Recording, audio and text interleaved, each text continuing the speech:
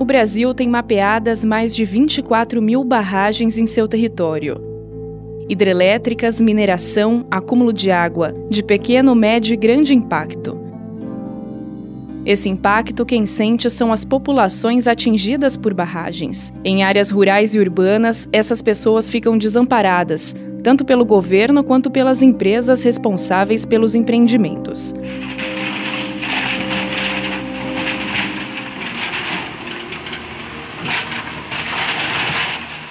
Foi para combater as contradições do modelo energético e em defesa dos direitos humanos dos atingidos que surgiu o MAB, Movimento dos Atingidos por Barragens. Começamos nossa história junto com o período de expansão das obras de barragens no país, ainda na década de 70. Desde então, exigimos o reconhecimento de direitos. A partir dos anos 90, realizamos nosso primeiro Congresso Nacional dos Atingidos, onde ficou determinada a criação do movimento nacional, popular e autônomo. Somos de luta, de massa, com direção coletiva, rostos regionais.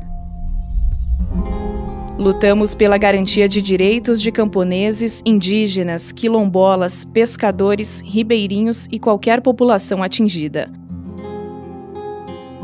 Estamos enraizados em 20 estados e entendemos que a água e a energia são patrimônios dos povos e devem ter o controle popular.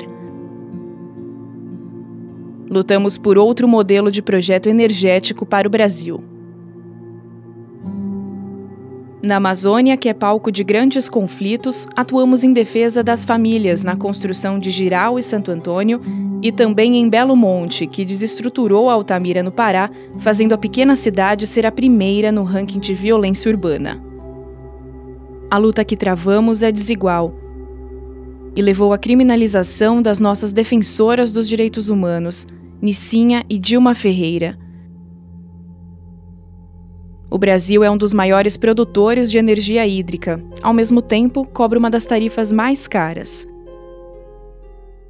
O mundo inteiro demonstra preocupação com a situação ambiental e social de rompimentos de barragens, como em Mariana e Brumadinho, que mataram trabalhadores, moradores das regiões, destruíram toda a bacia do Rio Doce e do Paraupeba. Verdadeiros crimes.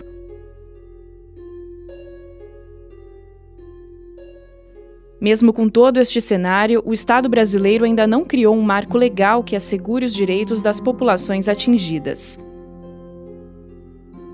Enquanto isso, seguimos lutando por soberania, em resistência.